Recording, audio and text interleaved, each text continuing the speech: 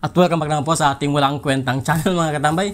By the way, sa mga hindi pa po nakapag-snack dyan ay mag-snack muna po kayo, okay? Magmerienda kayo. Ginawa ko pong video ito nasa 3.30 ng hapon. Kasi unang-una alam ko mamayang gabi ay baka maglaban na naman yung kapatid ko, mag-washing machine. So, maingay na naman yung ating background. Kaya inunahan ko na, kumbaga ginawa na natin ang ating video habang maaga pa or walang, habang wala pang ingay. By the way, ito po ang movie trailer na ating i-review ngayon.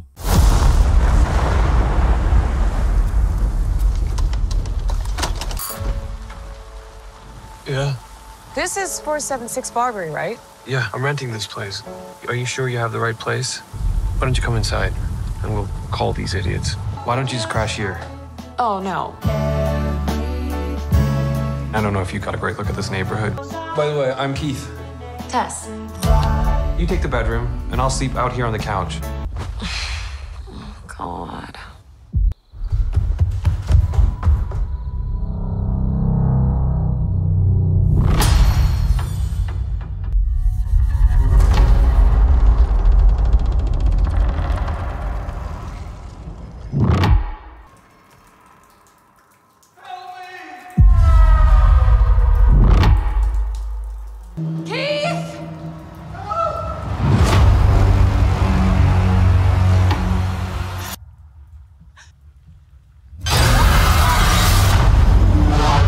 So yan pong patikin ng ating movie trailer na i-review ngayon. Kumbaga ay patikin pa lang po yun, okay? Mamayang konti ay i-play po natin ang buong movie trailer, okay? Kumbaga hindi pa yun ang ating ah, movie trailer talaga. Kumbaga patikim lang yun. Well, malamang titaka po eh kung bakit pinili natin ang movie trailer na yun.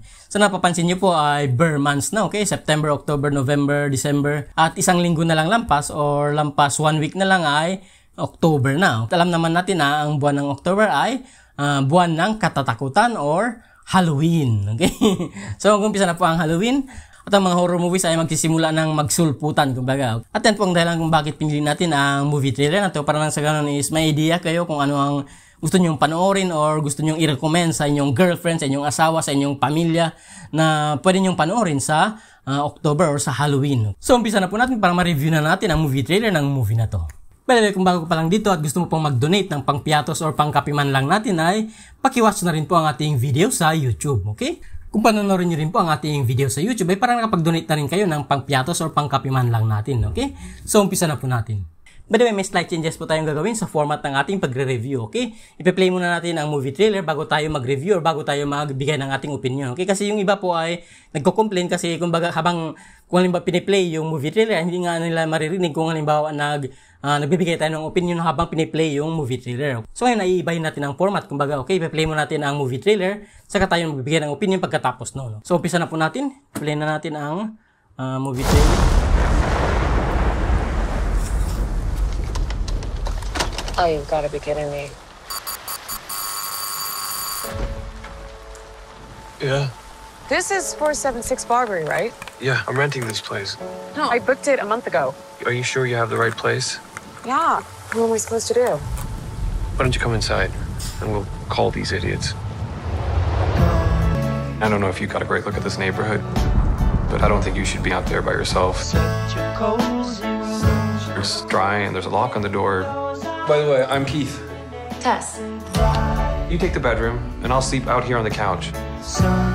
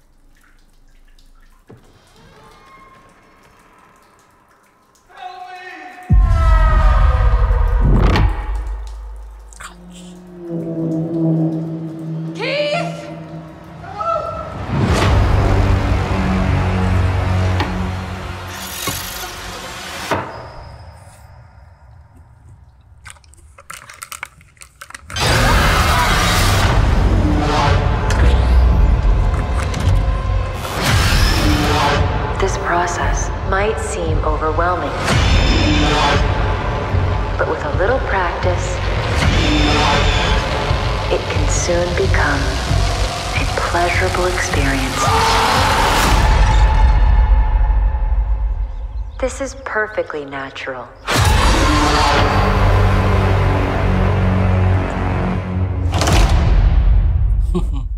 So yun po ang kagimbal-gimbal na movie trailer ng Barbarian. So iba po ito sa movie na Barbarian din, yung parang gera, okay? Parang may mga barbaric na gera or something, okay? Iba po yun, okay? kasi mayroon din mga movie, kasi mayroon din ibang movie na Barbarian din yung title, pero parang gera tayo, okay? Iba po yun. Ito po ay Barbarian na horror. Kung bakit naging Barbarian yung title ay yan po ay kung hindi natin i-spoil kung bakit Barbarian yung title. So hindi pa po natin napapanood ang movie na to kasi hindi pa naman pinapalabas dito sa amin, okay? Hindi pa naman pinapalabas dito sa Zamboanga or siguro hindi pa pinapalabas sa buong Pilipinas kasi kumbaga ay sa US meron na okay sa US mayroon na silang advanced screening ng Barbarian may nakapanood na po ng advanced screening ng Barbarian so nagkaroon na sila ng mga reviews nagkaroon na sila ng mga critic Okay, marami, marami nang sumusulat, marami nang gumagawa ng videos tungkol sa Barbarian. Sa mga reviews ay kumbaga yung story po nito. Ang story nito is merong babae na nagrenta, okay, nagrenta ng Airbnb. Kung aware po kayo sa Airbnb, ang ang Airbnb po is yung mga bahay sikat po ngayon sa US na halimbawa meron meron kang bahay tapos uh, magbabakasyon ka,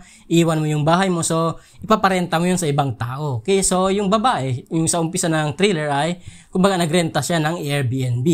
Pero sa kasamang palad nung pinuntahan niya na yung bahay, may nauna na sa kanya. So nagtaka siya bakit mayroong nauna sa kanya kahit na one month pa. Okay, one month niya nang kumbaga nirentahan yung bahay na yun tapos meron ng tao doon may na, mas nauna sa kanya yung tsura ng, ng lalaki ay okay naman okay yung tsura ng lalaki ay okay naman kumbaga hindi naman katakot-takot hindi naman mukhang killer hindi naman mukhang ano pero yung bahay na yun ay parang kakaiba kumbaga so may na-discover po silang parang secret doorway okay? parang merong secret doorway papunta sa baba, papunta sa basement. Kumbaga, in, short ay yung bahay na yun na pagkaliit-liit ay meron pong basement papunta sa baba at napakalawak yung basement na yun. Tapos may, may natagpuan silang mga videos doon. Mga videos tungkol sa pagpapadede sa bata. So kung bakit merong mga videos ng pagpapadede sa bata ay kumbaga tulad pagkasabi ko, hindi na natin i-spoil sa inyo kung anong rason.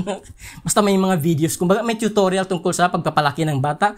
Kaya may mga tutorial sa pagpa pagpabdede nga sa bata. Okay, so yun ang isa sa video na napat, natagpuan nila doon. Ayun po sa mga nag-review, ay meron daw parang something na mutant or whatever na doon sa sa loob ng basement na yun. No? Kung ano man yung mutant na yun, kung babae man or lalaki or tao or alien or whatever, hindi natin i kung hindi natin i-reveal sa inyo, okay? Sa kayo na po ang bahalang uh, mag-imagine kung ano yun. Okay, basta. So yun nga yun, yung nakita natin kanina, nagtatakbuhan sila yun nga ay may humahabol sa kanila, okay, na mutant na yun, something something. Okay? So, ibig sabihin ay meron ngang nakatira, okay, yung bahay na yun sa taas, sa basement niya ay may nakatira mga tao or mga alien or whatever na na-discover po nila. Ibig sabihin, kumbaga yung bahay na yun ay kumbaga hindi lang yung bahay sa taas, meron po siyang basement. Parang may secret underground siya. Tapos yung underground na yun, napakalawak, okay? At merong mga creature doon, okay? Merong mga something-something doon. Kaya siguro tinawag na barbarian or whatever. Siguro yung mga tao doon ay mga time pa ng mga barbaric, mga something, something, iwan ko kung anong, kung anong may, meron doon, okay? Basta tulad pagkasabi ko, hindi na natin i-reveal kung ano yun.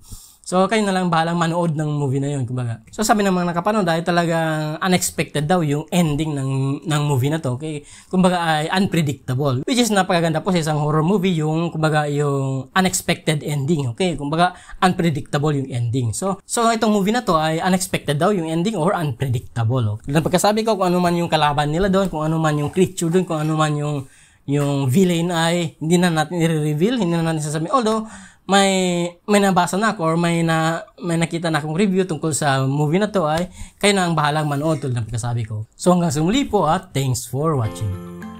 Subscribe for more relationship advice from your love guru.